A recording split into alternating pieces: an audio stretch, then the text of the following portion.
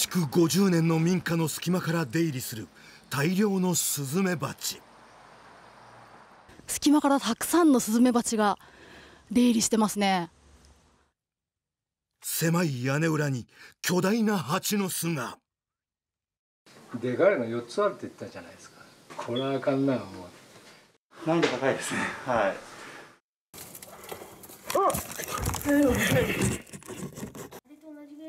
住み着いていたのは攻撃性が高い種類のスズメバチ。追い出すことはできるのでしょうか？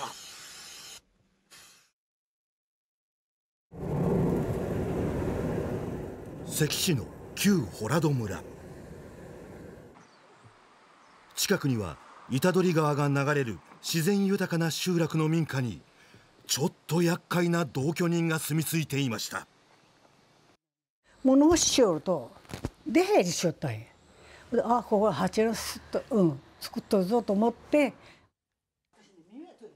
この家で一人暮らしをする野村栄さんおよそ30年前から毎年のようにスズメバチを見かけているといいます気にし私も田舎者やもんでその蜂に気にするようなことはなかったね、うん、これまであまり気にしていなかったそうですがお盆に帰省した孫らが巨大化した巣を見つけ本格的に撤去することを決めました。今回は子供の孫たちが来てね危なかったんでもうこれはもうしっかり一遍駆除しなきゃダメだなと思って4つもあったらね これはあかんなもう中入るときは防具着るんであなんですか、はい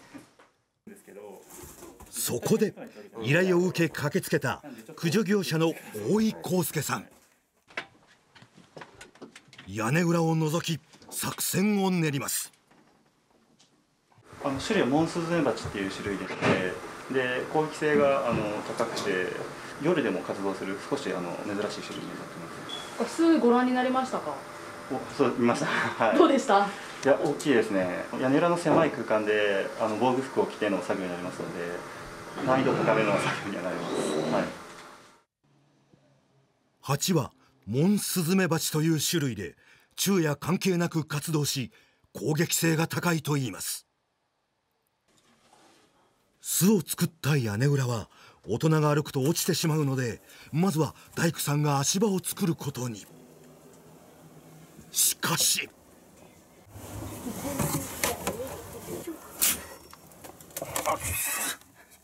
さっきからこうやって退治しながらやっとったけど。ごめんだよな。あんな方までいけんよねこの状態で怖い、うん、異変を察し大工さんに襲いかかるスズメバチ。ノコギリで撃退しながら作業を進めます。そして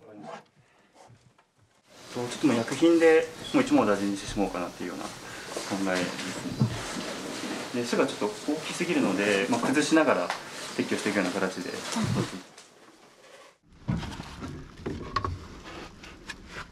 ここからようやく駆除作業をスタート。宇宙服のような防護服に身を包み大工さんが作った足場の上を進みます。まずは手前のスズメバチがいない古い巣を取り外し新しい巣までたどり着くと巣に向かって殺虫剤を噴射。スズメバチを弱らせてから道具を使い少しずつ巣を崩していきます。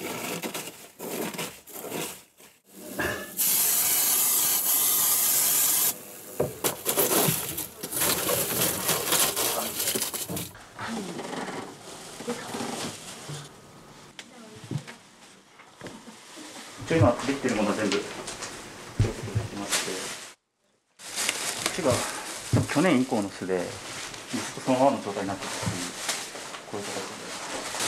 すごいね。偉かったやろんと。接客的ででこっちが今年の巣4つがある屋根裏にべったりとくっついていた巣すっかり綺麗に取ることができました。すごいねこれ。はい。これすごいね。大きいよねやっぱり。もう動いてるもん。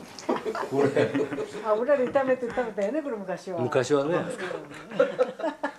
一足一足一足やね。ああありがとうございました。